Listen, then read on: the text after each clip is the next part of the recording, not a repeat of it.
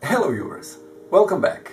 This time we will speak about the pendulums, and in this case George Delk permanent magnet pendulum. So this is basically perpetual motion device, so device which moving uh, non-stop, but actually does not produce free energy, but it does produce energy if we, if we think about this in other way, because it's working all the time, know, without any energy input, or even small input we invested to start the machine. So this is the image over here and let's now see the drawings and how is this designed.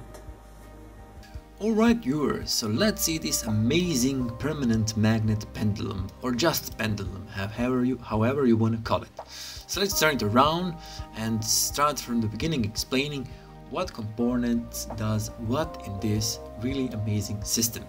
So let's begin from the top. Yeah?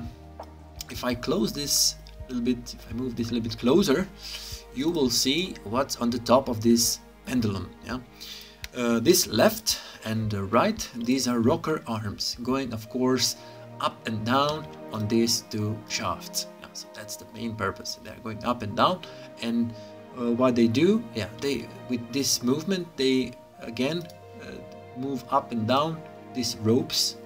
I selected right now on left and right side, which move these plates with the two magnets up and down yeah how this when this actually working yeah. In the middle of the system there is a pendulum which goes left left and right on this main shaft yeah. So that it goes left and right. And then now it's very easy to explain. So all these permanent magnets so these red dots so it's one two three four five six and the middle on this hammer is also magnet this red part on the bottom it's also a magnet and repel itself from the left and from the right plate. Yeah, so that's the purpose. So, so we have a total seven magnets in the system, and all repel each other yeah, in specific way and timing. And it's really simple. Yeah, when this rocker arm starts spinning, it repels itself from this side. Uh, yeah, and then other side is on the top. Rocker arm is down, and then also helps upper part to repel itself from the pendulum yeah? And that's it yeah?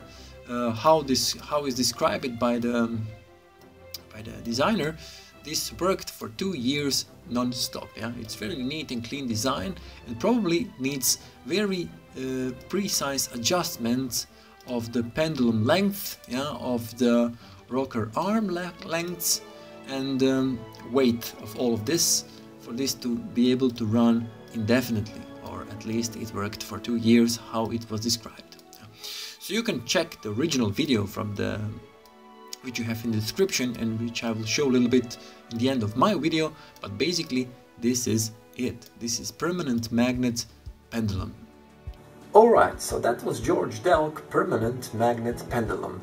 It, it, works really nice. If you see, you can click on this image here, which will lead you directly to the original video from the George Delk, and you will see that it does work. It looks like that it's not a fake, and that it can work for two years, how he explained in the patent.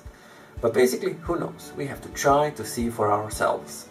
Until next video, stay tuned on my channel. Bye bye.